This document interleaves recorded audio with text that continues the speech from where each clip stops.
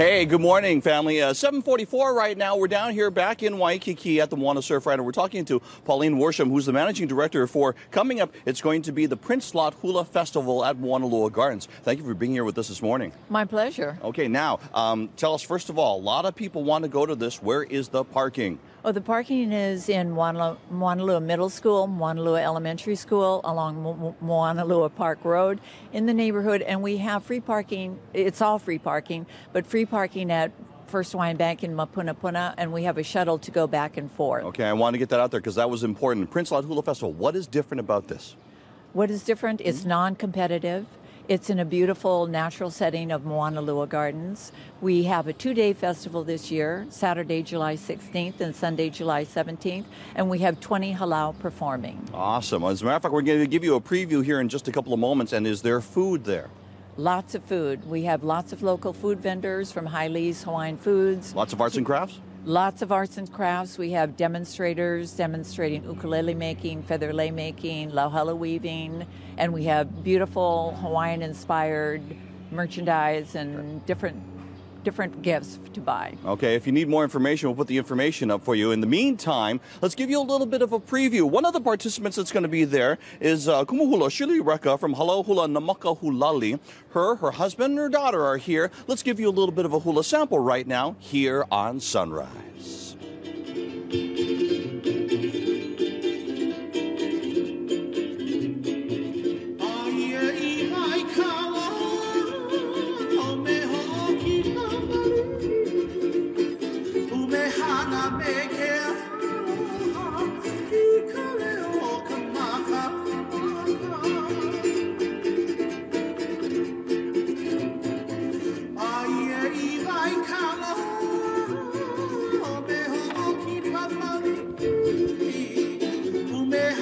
make it.